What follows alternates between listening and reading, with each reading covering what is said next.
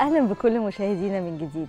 هيئة الأرصاد بتتوقع إن الطقس النهارده يكون حار على القاهرة الكبرى والوجه البحري ومعتدل الحرارة على السواحل الشمالية الغربية والشرقية ووسط سيناء وحار على جنوب سيناء وشمال الصعيد وشديد الحرارة على جنوب سيناء.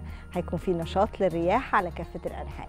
خلينا نعرف تفاصيل أكتر من الدكتورة منار غانم عضو المركز الإعلامي لهيئة الأرصاد الجوية. صباح الخير عليك يا دكتوره صباح الخير على حضرتك أستاذة منى وصباح الخير على كل السادة المشاهدين. أهلا بك يا فندم. دكتورة منار النهارده درجة الحرارة 30 في القاهرة بالرغم من كده بنقول إن الجو حار. على غير ما إحنا متعودين كنا متخيلين إن إحنا هنقول انه مائل للحرارة فقط لا غير.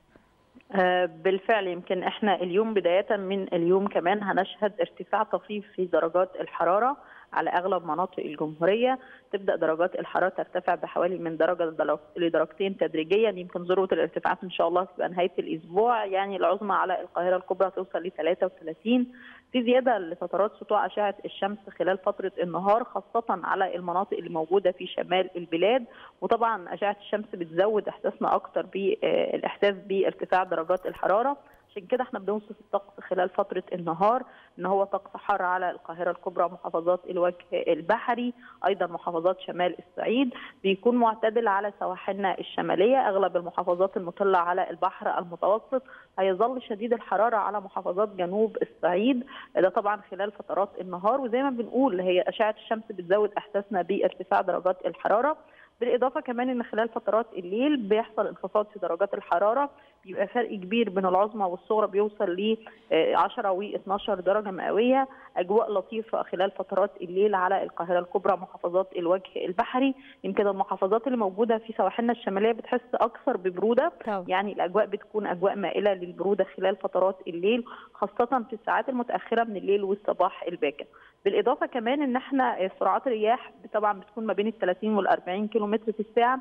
هي طبعا فيها اختلاف نسبي عن الأيام الماضية فمش هنحس بها قوي غير في فترة المساء فترات المغرب وبعد ودخول ساعات الليل. فده هيزود إحساسنا شوية بالأجواء اللطيفة والبرودة خلال ساعات الليل. بالإضافة كمان إن اليوم تكونت شبورة مائية على الطرق الزراعية والسريعة والقريبة من المسطحات المائية وأدت لإنخفاض الرؤية الأفقية على بعض الطرق. لكنها بدأت في التلاشي مع سطوع أشعة الشمس ومتوقع يعني الشبورة دي مكملة معانا دكتورة منار في الفترة الجاية بسبب ارتفاع الحرارة؟ آه بالفعل هي الشبورة مكملة معانا غدا إن شاء الله وبعد غدا هي شبورة مائية لكن هي بتكون طبعا مش بتأثر على حركة المرور بتبدأ في التلاشي دايما يعني الساعة 7 الصبح بنلاقي الشبورة بدأت تقل وتختفي من على أغلب الطرق. آه مكملة معانا زي ما بنقول يعني غدا وبعد غدا بإذن الله. ومع ارتفاعات درجات الحرارة وكمان بدأنا نحس بارتفاع نسبي في نسب الرطوبة خلال فترات الليل. نعم. خلال فترات النهار لسه مش واضحة قوي لكن في فترات الليل بدأت نسب الرطوبة ترتفع فده بيساعد على تكون الشبورة المائية مع هدوء سرعات الرياح. طيب دكتورة منار حاسين بذرات غبار كده وتراب متعلقة في الجو هتفضل معانا لغاية إمتى؟ هو يعني إحنا خلال يمكن زي ما بنقول 72 ساعة القادمة أغلب الكتل الهوائية تبقى كتل هوائية قادمة يعني من على البحر المتوسط ثم صحراء شبه الجزيرة العربية الموجودة في شرق البلاد فمش هيكون إن شاء الله معاها أتربة ورمال مثاره واضح بإذن الله. يعني مش هي يعني كلها ساعة أو اتنين لو إحنا شايفينها الآن هتختفي من على أغلب الطرق أو أغلب المناطق المفتوحة. شاء الله ما فيش قلق في ال 72 ساعة القادمة من من ناحية الأتربة والرمال المثاره. كويس قوي كل الشكر ليكي دكتورة منار غانم عضو المركز الإعلامي لهيئة الأرصاد الجوية. مشاهدينا خلينا نستعرض مع حضراتكم درجات الحرارة المتوقعة النهارده في مختلف أماكن مصر.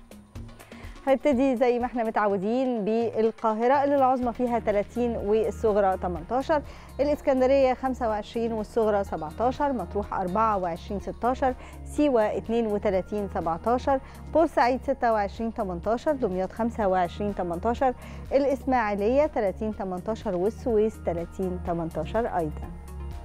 العريش العظمى فيها 25 والصغرى 16 طابة 32 19 كاترين 27 14 شرم الشيخ 33 25 الغردقة 32 23 والفيوم 31 19 بني سويف 31 19 والمنيا 32 19 أسيوط العظمى فيها 32 والصغرى 19 سوهاج 35 22 قنا 38 23 الأقصر 39 24 أسوان بتسجل أعلى درجة حرارة معانا النهاردة 40 درجة والصغرى 25 الوادي الجديد 37 23 شلاتين 36 23 أما حلايب العظمى فيها 29 والصغرى 21 وبكده نكون اتكلمنا النهاردة عن مختلف الظواهر الجوية اللي هنتعرض لها على مدار اليوم. خلينا نرجع لشاذلي والبسنت نكمل حلقتنا.